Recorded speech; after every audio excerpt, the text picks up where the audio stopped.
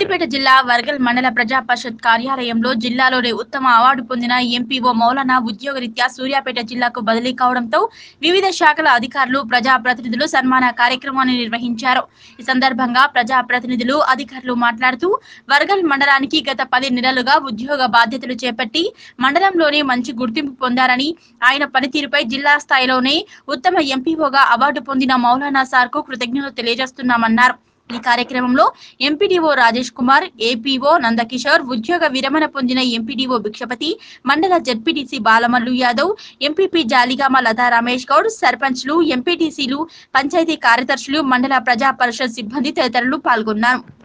గత పది నెలల కాలం నుండి వర్గల్ మండల పంచాయతీ అధికారిగా పనిచేస్తూ సూర్యాపేట జిల్లా హుజూర్నగర్ మండల పరిషత్ అభివృద్ధి మండల పరిషత్ మండల పంచాయతీ అధికారిగా ముంబై వెళ్ళడం జరిగింది. ఆ వెళ్ళే క్రమ క్రమంలో వర్గాలు మండల పరిషత్ గారు గౌరవ ఎంపీపీ గారి అధ్యక్షతను ఆత్మీయ అభినందన వీడ్కోలు సమావేశం ఏర్పాటు చేయడం జరిగింది. ఈ సందర్భంగా ఈ వర్గాలు మండలంలో ఉన్న అందరు ప్రజాప్రతినిధులకు అధికారులకు ఇతరులు ప్రజలందరికీ నా ప్రత్యేక ధన్యవాదాలు కృతజ్ఞతలు తెలియజేసుకుంటున్నాను.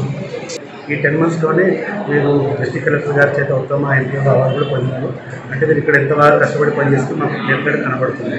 అలాగే ఈ టెన్ మంత్స్ కాలంలో కూడా సర్పంచ్లు ఎంపీటీసీలు అందరినీ కలుపుకొని మండలంలో కూడా మంచి అభివృద్ధి పనులు తీసుకెళ్ళారు. సార్ ఇక్కడ చనిపోవడం కూడా మాకు కొంచెం బాధగా ఉన్నప్పటికీ వారి సొంత జిల్లాకి వెళ్తున్నందుకు ఒక సంతోషం కూడా ఉంది.